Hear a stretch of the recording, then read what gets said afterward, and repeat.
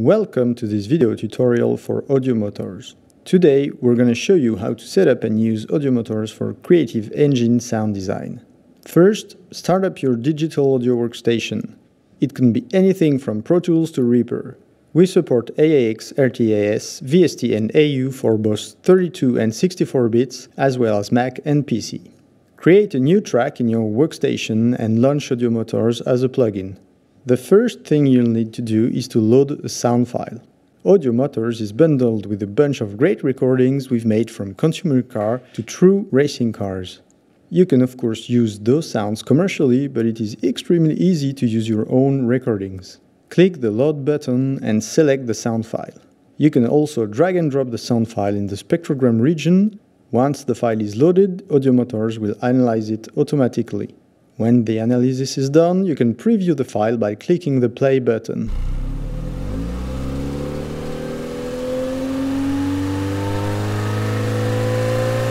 Okay, now we're gonna start playing some sounds.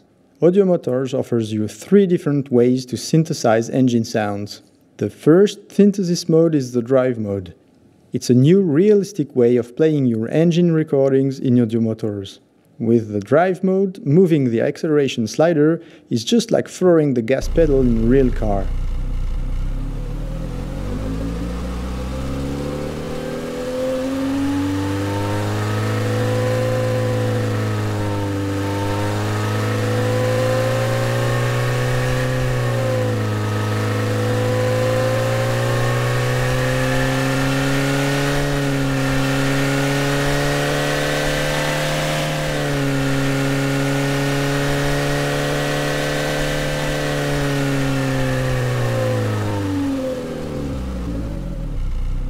In this mode you've got two parameters, throttle mode and car model. The car model determines the speed your car will take to go from 0 RPM to your target RPM. Then, throttle mode gives you two settings, drive and rev. In drive mode, you get the behavior of a car accelerating with an additional real-time filtering to add more punch and liveness.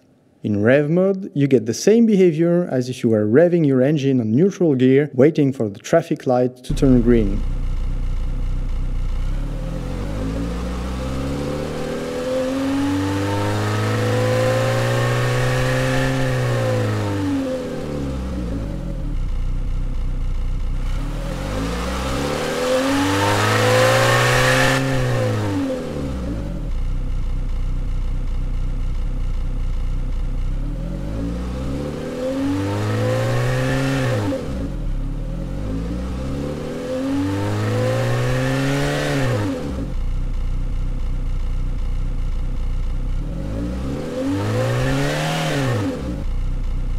The second synthesis mode is the RPM mode, which gives you control directly from the RPM tachometer.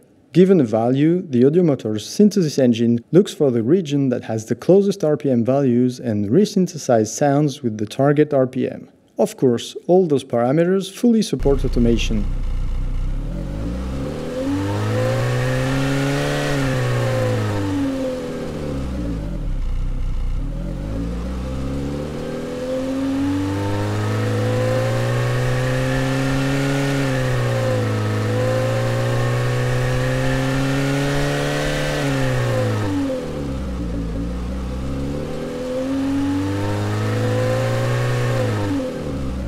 When you're using RPM mode, you have the precise control over your recordings, so you will be able to create sounds for any kind of situations.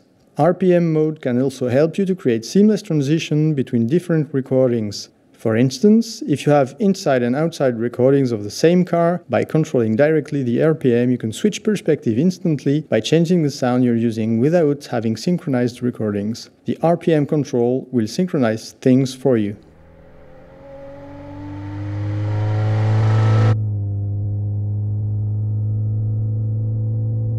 Beware, if you load a sound containing more than one acceleration or deceleration, Audiomotors analyze the file as a whole and might jump back and forth during playback.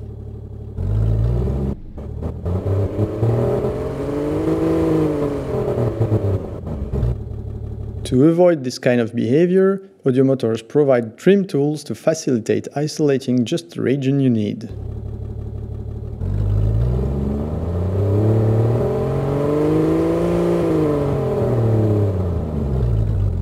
Third and last synthesis mode available is the scratch mode.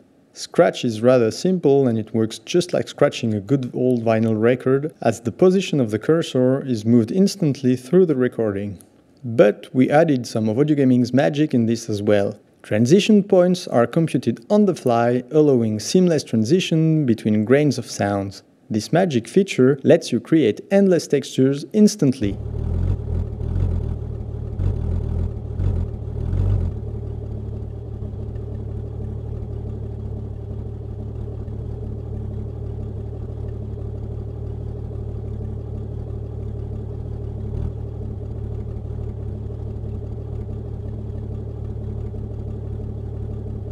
The scratch mode ignores the current trim setup, so by moving the slider you will always scratch from the beginning to the end of the sound file. While RPM and drive mode are best for heavily cycling sounds, scratch mode can be very handy for texture sounds like tire rolling, inside rumbles, or even idle sounds.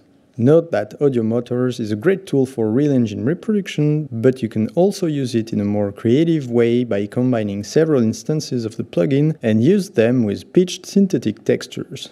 Audiomotors can help you design groundbreaking futuristic motor sounds.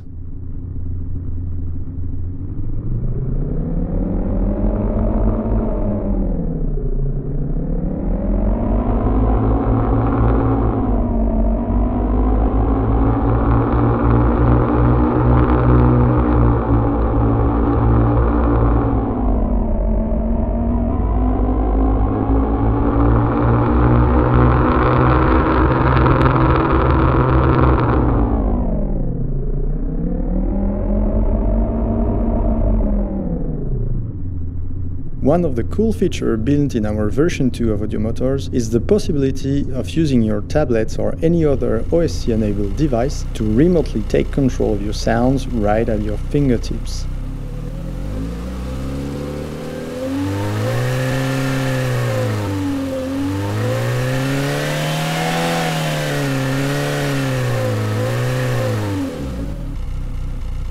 Here I'm using an iPad with TouchOSC, but you can pretty much use any kind of OSC device to take advantage of this feature.